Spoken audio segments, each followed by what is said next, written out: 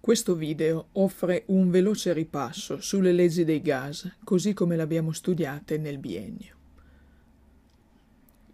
Il motivo per cui lo studio delle leggi dei gas è più complicato dello studio, ad esempio, del comportamento termico dei solidi e dei liquidi è dovuto al fatto che lo stato di un gas dipende da tre parametri. La pressione, che può essere misurata con un manometro, il volume, che si misura ad esempio conoscendo l'altezza di un pistone mobile, e la temperatura, che si misura mediante un termometro.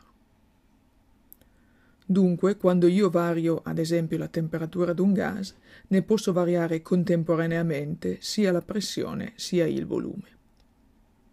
È stato conveniente, però, iniziare lo studio dei gas con una separazione delle variabili, iniziando a studiare delle trasformazioni più semplici. Ecco uno schema delle trasformazioni che abbiamo studiato. Abbiamo mantenuto costante uno dei parametri, ad esempio la temperatura in un caso, e quindi abbiamo studiato come variavano la pressione ed il volume, quindi costante la temperatura, come variano pressione e volume, cioè seguendo il gas in una trasformazione a temperatura costante cosiddetta isoterma. In una seconda fase abbiamo studiato il comportamento del gas a pressione costante, analizzando dunque come il volume variasse al variare della temperatura. E una trasformazione di questo tipo prende il nome di trasformazione isobara.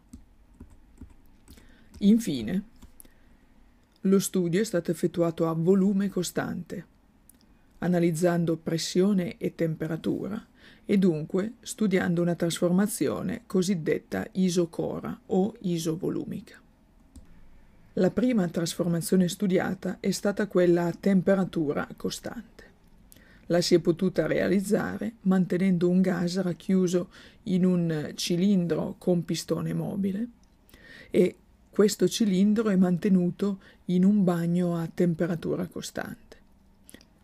Aumentando il numero dei carichi posti sopra il pistone, la pressione aumenta ed il volume diminuisce mantenendo però la temperatura costante. Dunque diminuisce il volume, aumenta la pressione.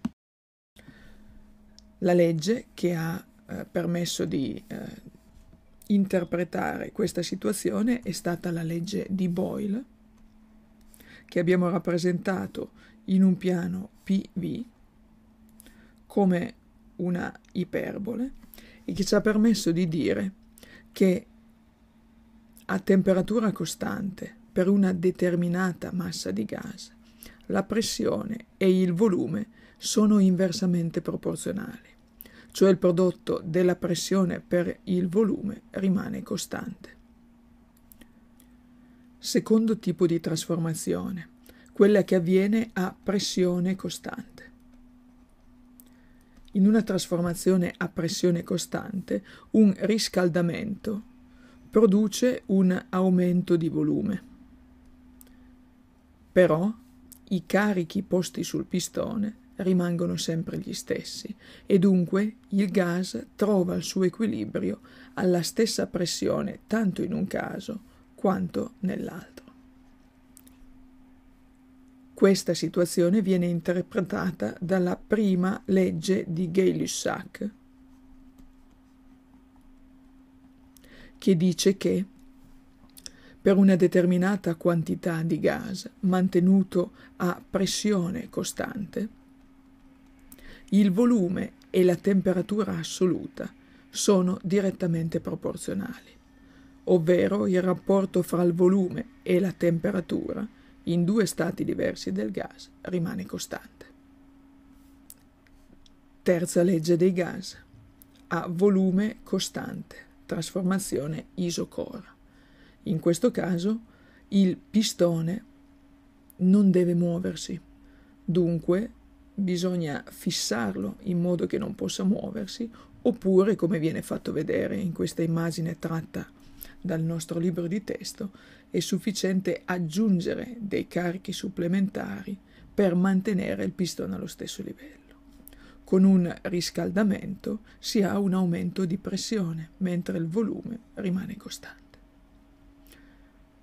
Questa situazione è interpretata dalla seconda legge di Gay-Lussac, che afferma che per una determinata massa di gas mantenuto a volume costante, il rapporto fra la pressione e la temperatura assoluta del gas resta costante, ovvero la pressione e la temperatura assoluta del gas sono direttamente proporzionali.